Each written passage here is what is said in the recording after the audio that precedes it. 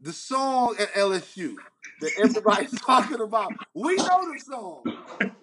Like we know the song. Nick has been going everywhere about how the lyrics get changed. They're not even playing the song. What do you think about the song, man? V, it's it's terrible, man. It's, it's terrible. It's terrible. The the cliche word is classy. Keep it classy. Ain't nothing about college football classy when it comes to the stands, Mm. man. And, and really, you know, it's a respectful nature to how you're supposed to uh, revere your opponent in a win or a loss. But that's dude, you think about it. It's first of all, you know what LSU atmosphere like on Saturday.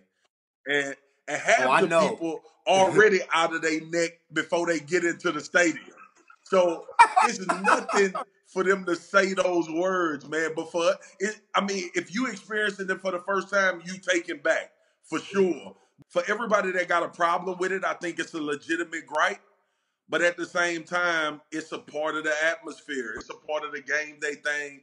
And most of the time, let's be honest, it's the students uh spitting that spitting that Yeah. out. So, you know, it's it's not fun for people that don't like it. It's fun for me because I be laughing my butt off when they say it, dude.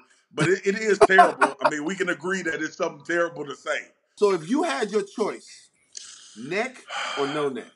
Nick, just just just just being who I am, man. I mean, look, I would if you if you could if you could somehow convince them to clean it up, that'd be great. Um, but we know what. Neck is about. Neck is about getting the team motivated.